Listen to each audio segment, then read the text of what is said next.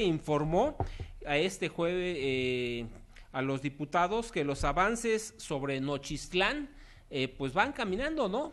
Eh, tiene los detalles Diego Rivero. Una comisión especial de la Cámara de Diputados realiza una visita este jueves a las instalaciones de la Procuraduría General de la República para conocer los avances en el caso Nochixtlán. De acuerdo con distintas fuentes, el encuentro se lleva a cabo a puerta cerrada. Los legisladores serán informados sobre los avances en la investigación ministerial sobre la agresión armada del 19 de junio de 2016 contra civiles en esa localidad de Oaxaca.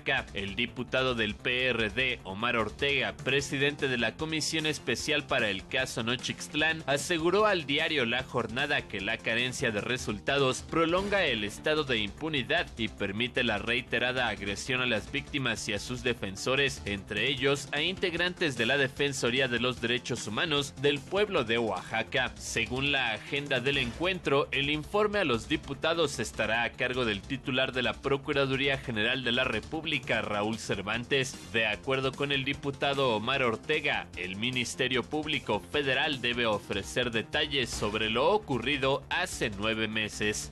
Para el punto crítico, Diego Rivero. Y en presidencia de la República,